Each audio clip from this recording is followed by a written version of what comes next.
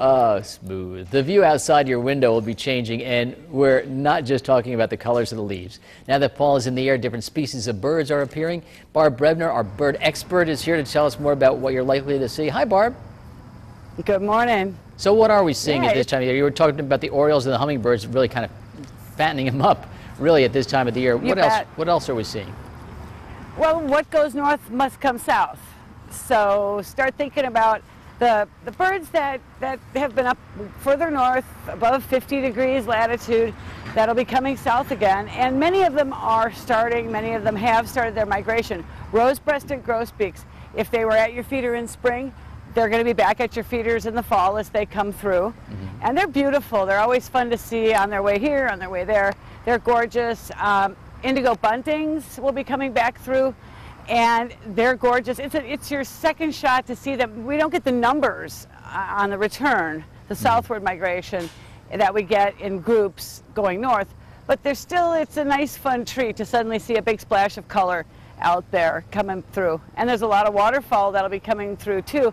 You know, a lot of people take trips down to Horicon to see the different birds that are coming through. Bay Beach Wildlife Sanctuary, there's a lot of places you can go to see all of the beautiful migrating waterfowl as well.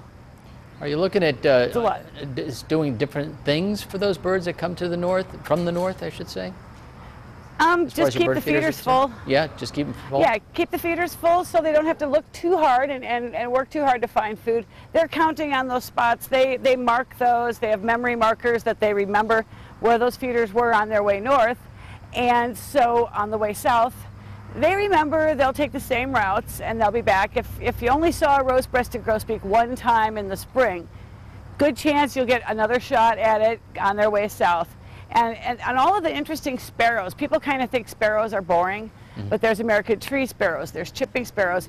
Kind of look under the feeder in the grass and in the, the leaf chaff under your feeders, because there'll be some unusual and interesting, the white-crowned sparrows, white-throated sparrows, interesting, pretty birds that are, oh, it looks brown, but then you look again and there's white, white stripes on the head, Oh. white on the throat. Yeah, they're very different and interesting. Barb, uh, a lot of folks know who you are and know where you are and stuff, but uh, you're right outside your store. Tell us where, where you are, how uh, people can go and, and get some great stuff at your store.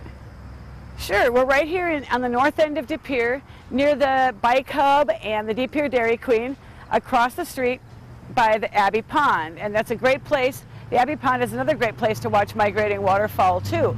And we're here on the north end, and you look for the little rusted roof on the building, and that kind of helps you see it because right now we are covered with wildflowers. Yeah. We did a natural prairie planting here, and it's the building's kind of hidden, but it's it's fun to be tucked in all the flowers where the birds are eating.